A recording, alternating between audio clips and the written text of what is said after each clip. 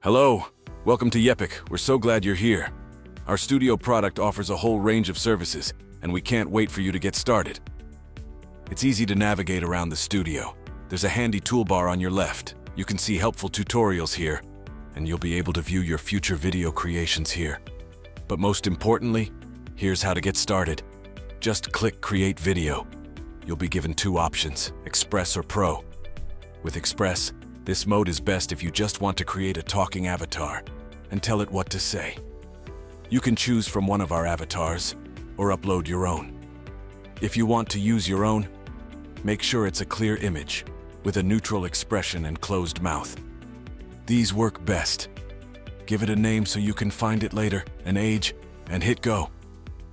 You can now select this from the menu on the right. Next is a voice. We've got a lot to choose from, available from some of the best providers around. Listen to some previews and make your choice, then it's time to add your text. You can either copy and paste, write something new, or ask ChatGPT to make something for you. With all three pieces assembled, just click Generate, and your avatar will be ready in minutes. With Studio Pro, there's a lot more going on. You have the same avatar creation from Express, but you can create entire videos around it, using our assets and even backing tracks. We've got templates for you to use or you can make your own.